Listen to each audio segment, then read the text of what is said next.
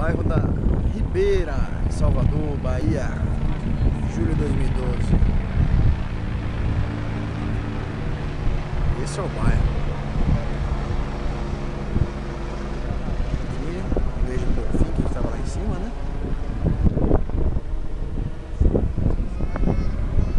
Muito bom. Tem peixe.